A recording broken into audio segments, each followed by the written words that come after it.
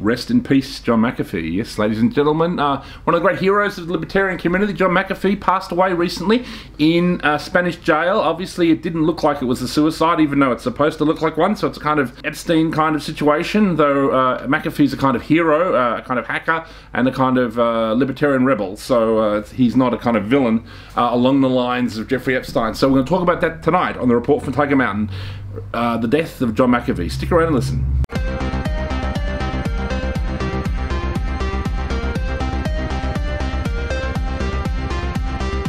Welcome to the report from Tiger Mountain. We're going to talk about the death of John McAfee here that just happened actually this week. I actually shared a meme on Facebook uh, of a friend, and uh, it was something about if you're going to kind of basically um, go against the establishment, you're going to get treated like Jesus Christ and you're going to be crucified. I didn't actually know John McAfee had died when I shared that meme, and then someone said, "Oh yes, um, you know, it's a shame he's passed away," uh, in a comment. And I said, "Has he?" And then I looked up obviously online and he had he uh, hanged himself in a Spanish jail. Um, obviously, I think they were trying to go after him for tax evasion or something along those lines. Or I mean, basically, you know, he was a kind of um, real bad boy, you know, in the sense of like a real libertarian rebel. He was a guy who cured all the um, kind of Bill Gates viruses that no doubt pissed off Bill Gates, and um, you know he went and lived down in a place um, in South America. I can't. I think it's Belize. Belize. That's it. He went and lived in Belize, and I remember reading a story. It must have been with Vice magazine, and he was down there. He was like smoking crack and like hanging around with like hookers with machine guns.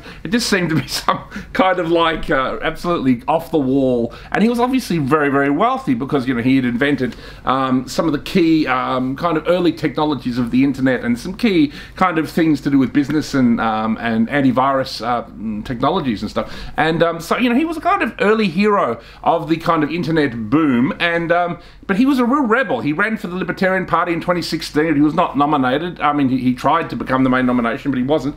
But you know, there's just something really rebellious about him. And obviously, the government kind of went after him down in Belize, and um, they kind of drummed up this kind of um, uh, charges against him. And uh, what he did is he actually sent.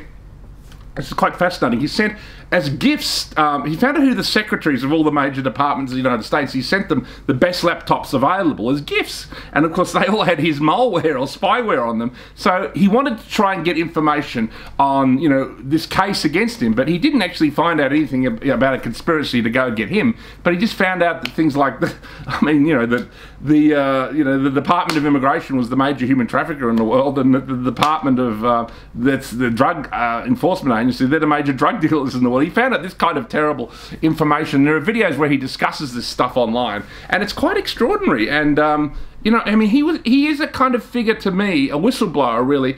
Uh, along the lines of Julian Assange and um, you know others, and you know, except he's even more of a rebel in the sense that he was almost like a kind of a gangster when he was hanging out in Belize with machine guns and hookers and drugs and everything. So he was a real bad boy. So I guess it's probably not surprising that he came to a sticky end, but um, you know it was quite sad because uh, you know he was a real rebel, and I think his heart was in the right place, even though he was a bit you know uh, what you call off the wall. So I think everybody here at the report from Tiger Mountain should um, mourn the death of John McAfee, and we should ask questions, you know, um, you know, and we should start. You know, John McAfee did not uh, kill himself, very much along the lines of uh, Jeffrey Epstein. We should find out who did, and you know, again, he did a lot to um, to kind of like tell us what the elites are up to, tell us about the deep state. There are many great videos online you should go check out by John McAfee, so make sure you do that now he's passed away. Post something uh, in reverence to him on your Facebook page, and um, you know follow this story because maybe he had a dead man switch, ladies and gentlemen, because he was rumored to have one.